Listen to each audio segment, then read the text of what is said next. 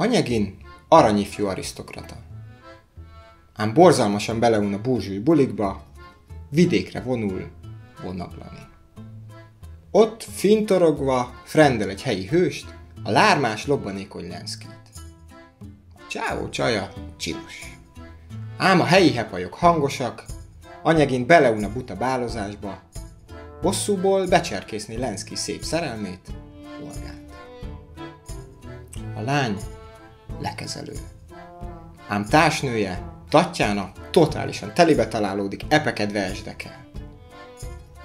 Anyegin talomban tartja, hagyja hiába sóvárogni. Lenszki lecsap, párbajt provokál, ám súlyosan sebesül, hirtelen halált hal. Az alávaló anyegin loholva lelép. Tatjána titkon tipródik, majd lassan lehűl, kiábrándul a komiszkúra fiú.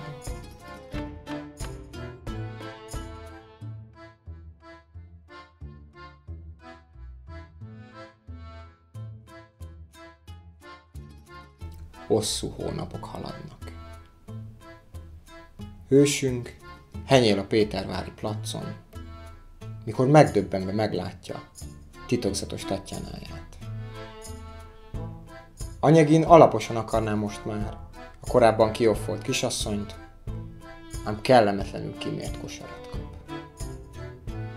Tatjána tudatja, tipródik, de derék dolgos férje fontosabb. Francba a felforkalkodott hülye hólyaggal, hű házastárs, kedves-kedves marad. Jevgenyi jajdul, kaparja a kín. Szintiszta szívás, ez a szájba kút spleen.